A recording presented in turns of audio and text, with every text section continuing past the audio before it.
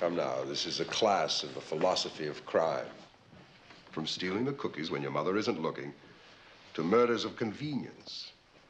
Now, what I am trying to communicate past your well-scrubbed faces is to let go your preconceptions about the poor, downtrodden criminal. It's nonsense. The criminal assumes total responsibility for his life. If one chooses to, to steal or to commit a murder, that is an aggressive exercise in that individual's behavior. Yes, Ralph. Uh, according to you, it's almost as if the bad guy is respectable. Uh, what about the victim? The guy that gets burned, uh, murdered, let's say. Now, the voice of conscience raises his sacred heart. Huh? The victor, as well as the victim, is responsible for his life and death. Uh, come now, Professor. Are you telling me that if somebody murders me, I'm responsible? Indeed. And that is the precise issue we shall deal with in our next class. The subtle and obvious ways we choose our own executions. Now, what we're concerned with today is the fact that the killer and the killee are married by choice and not accident.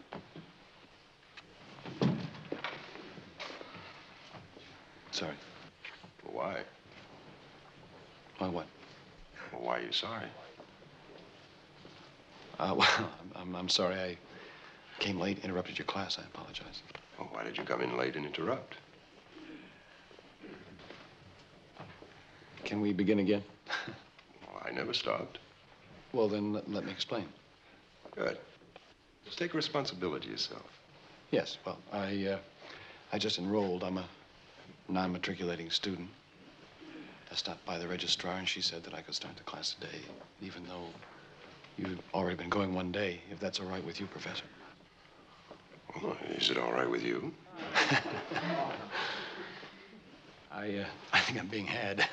By your own sense of limiting convention under the guise of insincere politeness.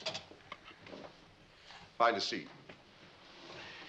What's your entire name? Hutchinson, Ken. Ladies and gentlemen, you have just witnessed a prime example of an act of innocence. An act, I say. Hutchinson Ken behaved as if it were all a matter of bad timing. Excuse me, Professor. Uh, can we forget about the bad timing and just resume the class? Oh, your timing was perfect, Hutchinson. The class never stopped. You are a living example of what I'm trying to teach all these fair-minded students. When an act of illegality occurs, when a breaking of the rules takes place, be it coming late, or stealing the cookies, or committing a murder,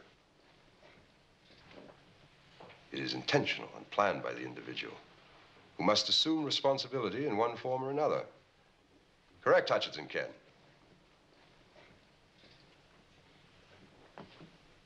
I do not ask rhetorical questions. Do you agree? As a matter of fact, I don't. I came late. That's no crime. And you certainly can't equate my act, which even if it was intentional, which it certainly wasn't, with murder. It's ludicrous. You uh, stopped apologizing. You do have an opinion. Good. Now listen carefully. The crime is not equal. That is not what I said. I did say that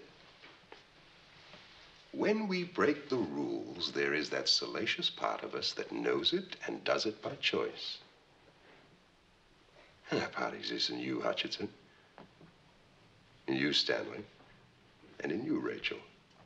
And in the man who commits murder. Who exercises his freedom of breaking the rules and assuming responsibility for his actions.